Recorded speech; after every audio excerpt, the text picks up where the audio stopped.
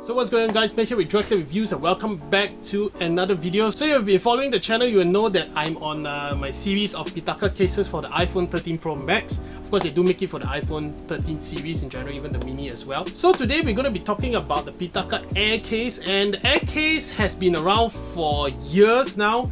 And in fact, this was one of their first cases which they actually made for phones when they started off their company. So if many people know Pitaka is for their thin cases and especially the Pitaka Air case. But anyways, enough talking. If you haven't subscribed to this channel, really do hit the subscribe button and also enable notifications so you get notified on the latest videos which I post. And let's get right into the unboxing and review of the Pitaka Air case for the iPhone 13 Pro Max. Alright guys, so we are here with the Pitaka Air case. So let's take a look at the packaging quick. So on the top we have Pitaka Air case for iPhone. This is for the 13 Pro Max.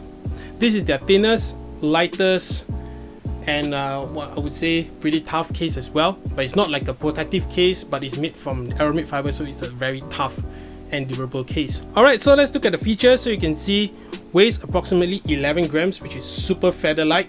I'm using this case on my iPhone 12 Pro as well.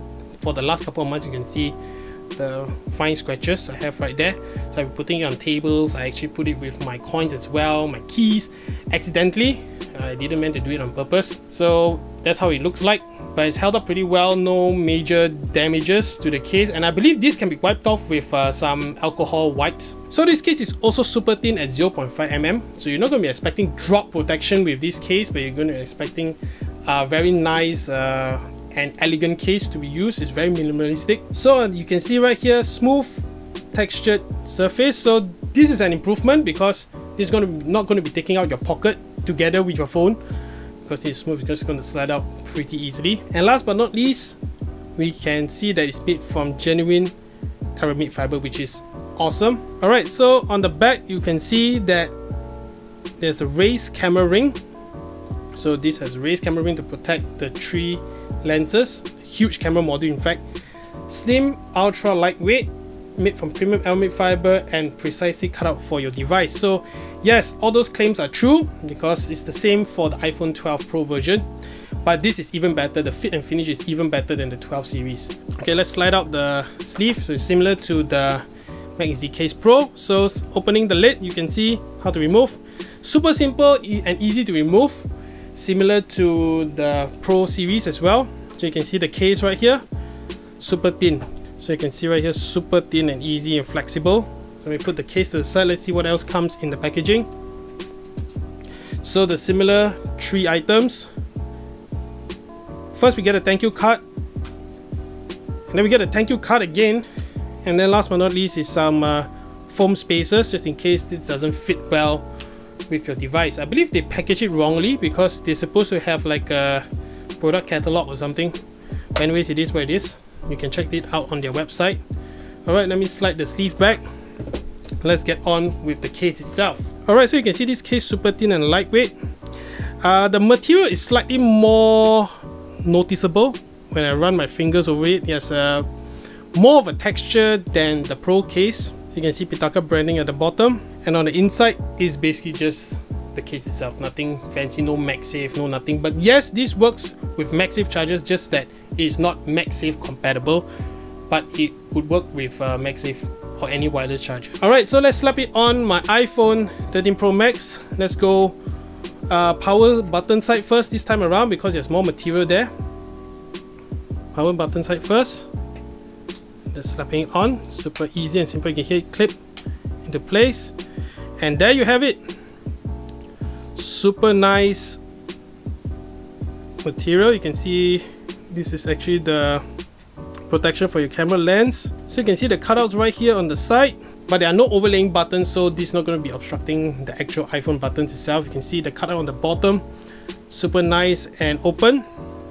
No obstruction right there. So on the right side your power button works as it should be. On the top there's a pretty big cutout as well. So you can see from this case right here is that there is not going to be drop protection or just scratch protection. So you got to be careful when using this case. Of course it does feel excellent in the hand. Um, the edges of this case are really really well tapered off so that when it sits in your hand there's like no sharp edges digging into your palms. Except maybe for the bottom right here because this is actually a rough edge so you got to bear with that on top as well. But on the sides when you're holding it just like this no problems right here. Really really comfortable. Okay let's check out MagSafe. So this is a super thin case so there are no need for any extra magnets. This actually just works. You can see right here MagSafe works. So actually uh, I've been using MagSafe on my 12 Pro with this case the Pitaka Air case and it just works every night I charge it and it is pretty strong I should say. See I can still hold up my phone like this but of course not as strong as the Pro case which has inbuilt magnets.